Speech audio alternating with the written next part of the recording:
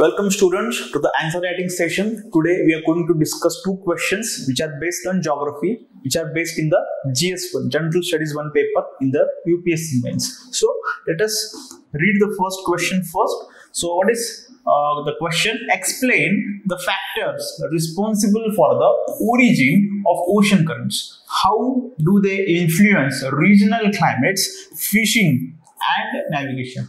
So we know the basic concept of origin. What is the demand of the question? They are basically asking you about the origin. So write about the origin. In introduction you can write about the basic definition of ocean currents. Then in body part again divide your answer into two part. First part is what they are asking you about the origin. So write down the factors. So this question was asked in the UPSC itself and the question is directly derived from the uh, NCERT textbook 11th standard fundamentals of physical geography. So there they have given four uh, uh, four basic reasons for the origin of the ocean currents. So you need to write about that first part write about the origin of the ocean currents which are the factors. And the next part you need to write about the influence of the ocean current on what? Regional climate on regional climate. So again there are many impacts but they are specifically asking you about what? Fishing and navigation. So focus on that fishing and navigation. So let us uh, uh, start our discussion.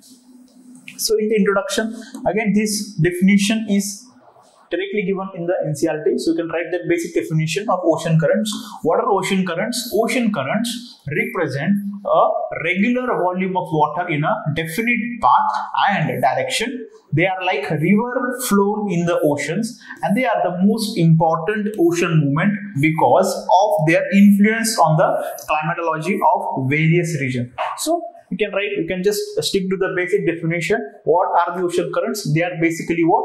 A regular volume of water in the definite path and direction right? So you can write about the ocean currents. Second so start with your body. In next para you can write and don't write the definition like the word definition. Write the definition but don't write the word definition like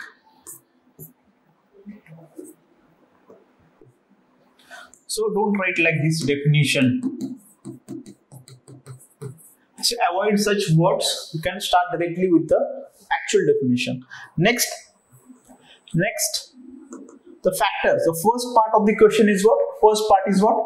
They are asking you about factors responsible for the origin of the ocean currents so start with it first factor is what? Planetary winds planetary winds so planetary winds so they are the principal cause of the origin of the ocean currents and such winds along with them. So what? Uh, the ocean currents they are generated. What what is the basic force behind the winds? Then difference of the density and salinity. So we know earth is slightly tilted earth is slightly tilted. So what is happening due to that uh, due to that? The uh, the there is temperature variation. There is difference in the insolation. Difference in the amount of insolation. There is difference in the temperature distribution.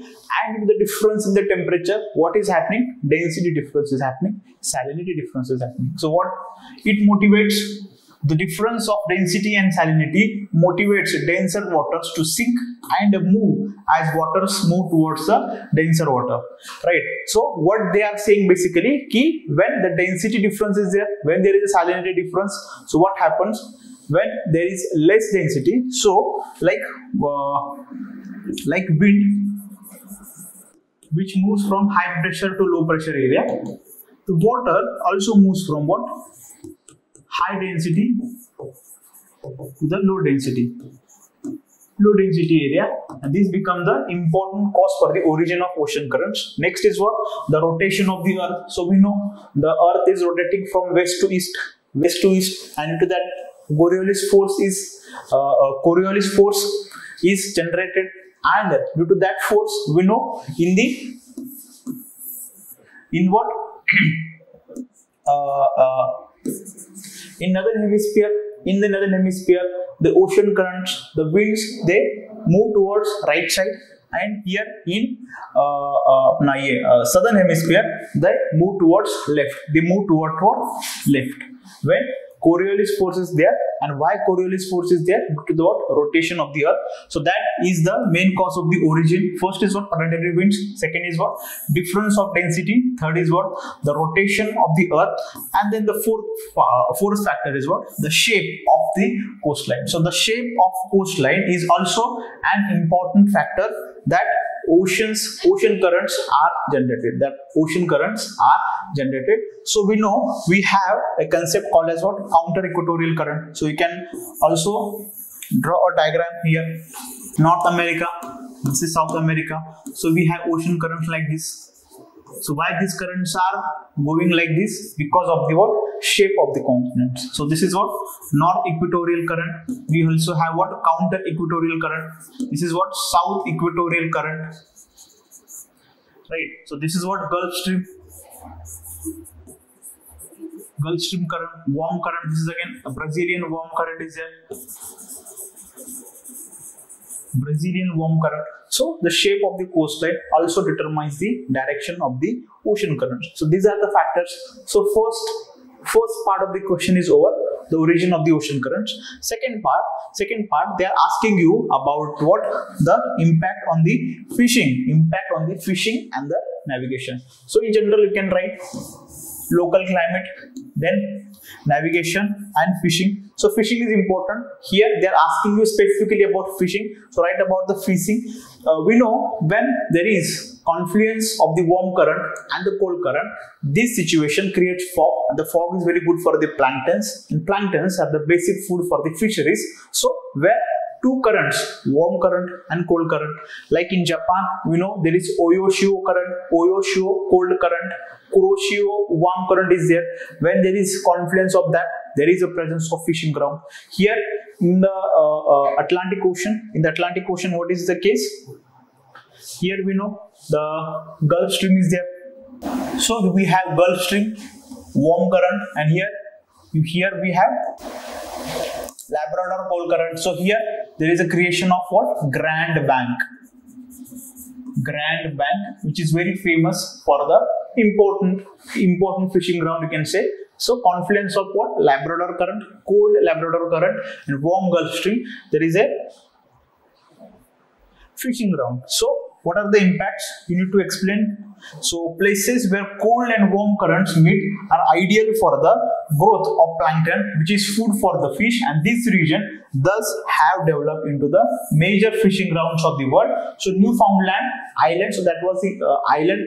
So uh, the confluence of that cold current and the warm current takes place besides the island called as Newfoundland Island of this eastern coast of the North America we just saw is the meeting point of the Gulf Stream and the Labrador current is one of the major. So this can be uh, your uh, first impact and second impact is what? Navigation. So by using predicted real-time and short-term forecasted currents, ships can be safely docked and undocked, maneuvered in confined waterways and safely navigate through the coastal waters. Lack of this knowledge can lead to the collision. So when North Atlantic drift is there, when, uh, when the Gulf Stream uh, combines with the Labrador current, there is what? North Atlantic drift.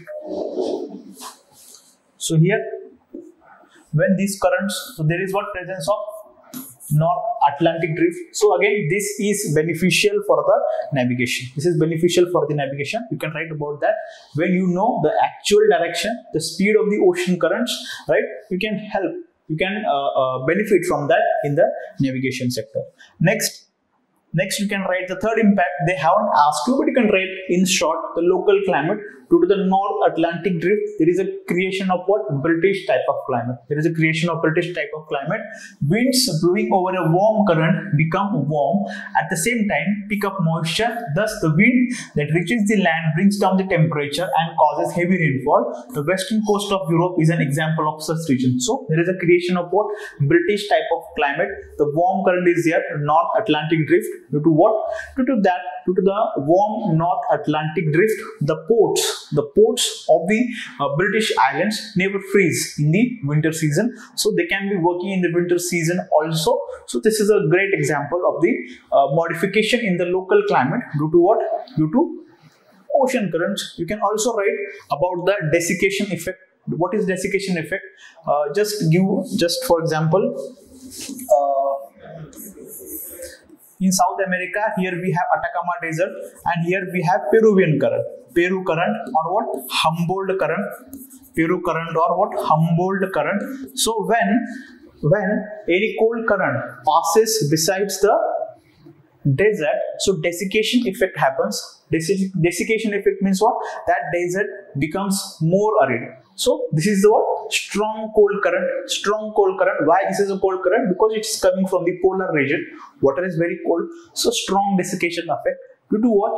Due to this, we have Atacama Desert, one of arid, most arid desert you can say, most arid desert in the world, Atacama Desert. What? Atacama Desert. Similarly, near Sahara, near Sahara, near Sahara, here we have what? Cold Canaries current. Again, desiccation effect happens over here. The, uh, the desert becomes arid. So yes, you can write about the climate. So these are the uh, second part of the question. First, you wrote about the uh, factors that are responsible for the origin of the ocean currents. In the second part, you wrote about the impact on the uh, impact of the ocean currents on fishing, navigation, and on climate. Next, in conclusion, in conclusion, write about the future. What is happening in the present, right? So uh, the consequences. So consequences means what? The impact creates what? The creation of fishing grounds. That means it impacts the livelihood of the people living in the coastal region. That impacts the economic development. So consequences you can write about economic development of the nation. Then livelihood. Then there is creation of what? Uh, climate. So that affects the habitat of the persons living in this region right? So these are the some consequences and or you can write so you can write about consequences or you can write about the impact of global warming on the circulation of the ocean currents. So ocean currents some scientists what they're saying the due to the global warming due to the global warming the temperature in the polar region that is increasing. So that basically is reducing the flow of the ocean currents. The ocean current the movement of the ocean currents is being slowed down because of the global warming. Why? Because there is less gradient in uh, uh, in polar region we have low temperature and high pressure. Uh, so ocean currents what they do? Ocean currents sink at the polar region and they move towards equator. And when the temperature is more the temperature gradient is less. So when earlier that suppose i'm just giving an example. Earlier if the ocean currents are moving by 100 kilometer per hour now they are moving by 80 kilometer per hour. So the speed of the ocean currents is reducing. And when speed of the ocean current is reducing the temperature distribution the salinity distribution is affected right? The rejuvenation capacity of the ocean current is uh, is affected and that affects the livelihood of the coastal people that affects the biodiversity it affects the marine ecosystem of that ocean. So you can write impact of the global warming slowing down of the speed of the ocean current. So this was the first question. Second question second question they are asking you about uh, the major cities of India are becoming more vulnerable to the flood conditions. So we talked about the air masses. Uh, so uh, we talked about the oceanography. Now this question is from human geography. So they have combined the issue of flood again. Uh, the theme, the flood theme, is repeated many times in the UPSC this question is slightly different. What they are asking you, major cities of India are becoming more vulnerable to floods condition. Discuss. So first you need to write about the, uh, uh, you, you need to give some examples because they have given one statement. So assume that statement to be correct. Give some examples key like Hyderabad, Pune, Bengaluru, Mumbai. So these cities are becoming flood prone this year only the city of Bengaluru was submerged underwater. So you can write about it. Then write about the reasons. First, reasons why they are being flooded. Then write about the impact and give some solutions at the last. So this should be your structure. Basic introduction. So in the introduction, here you cannot write the definition of flood. No, you cannot write. Instead, you should give some written uh, recent examples so that their statements can be proved right so how you can write so you can write in introduction you can write as climate variability and extreme weather events increases, urban flooding becomes more and more common in many Indian cities like Hyderabad, Bengaluru, Mumbai, etc.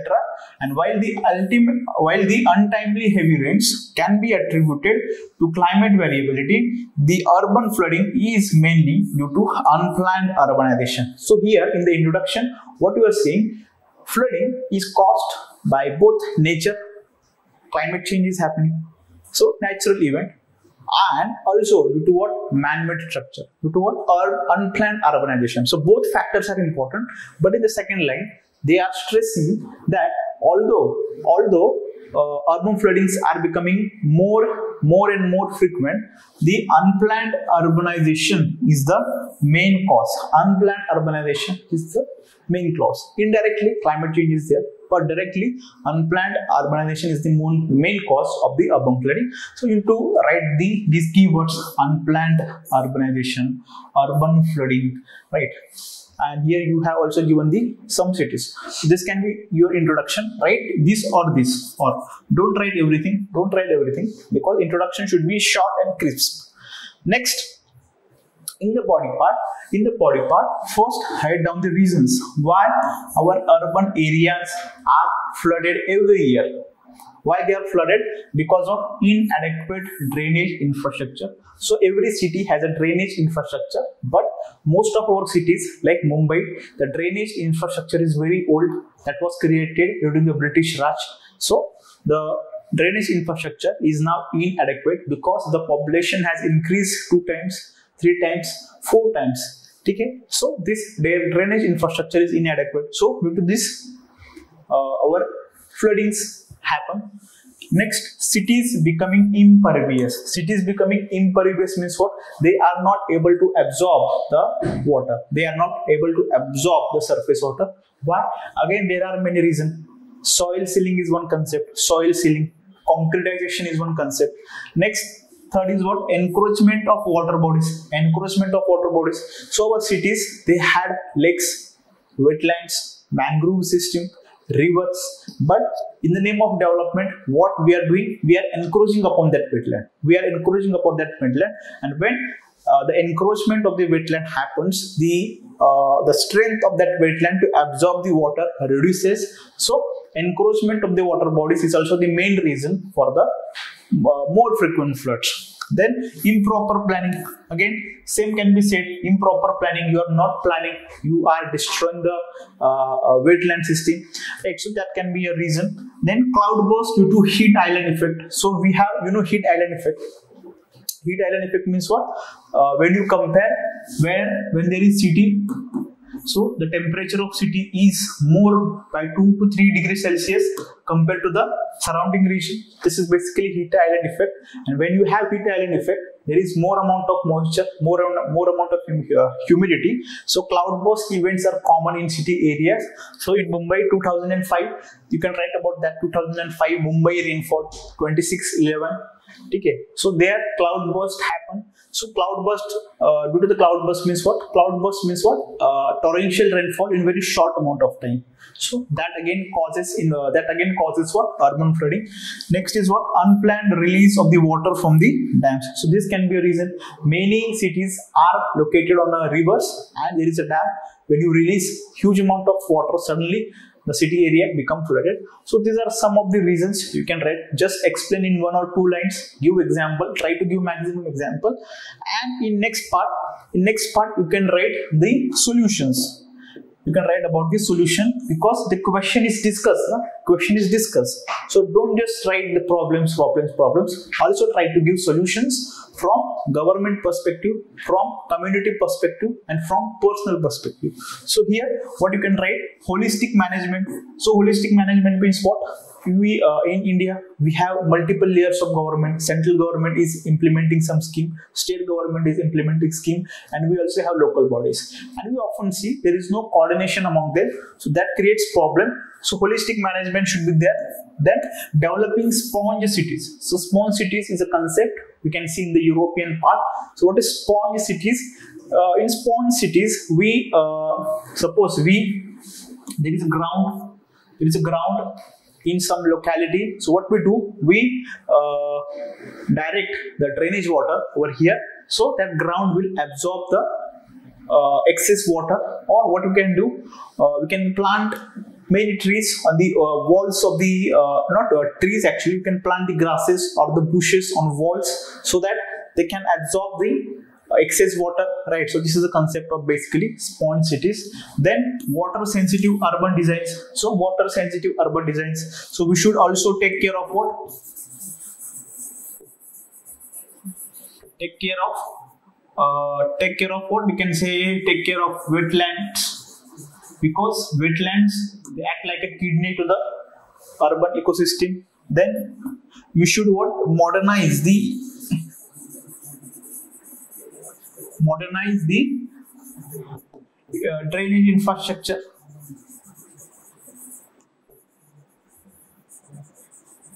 you should modernize the drainage infrastructure then third, what you can write?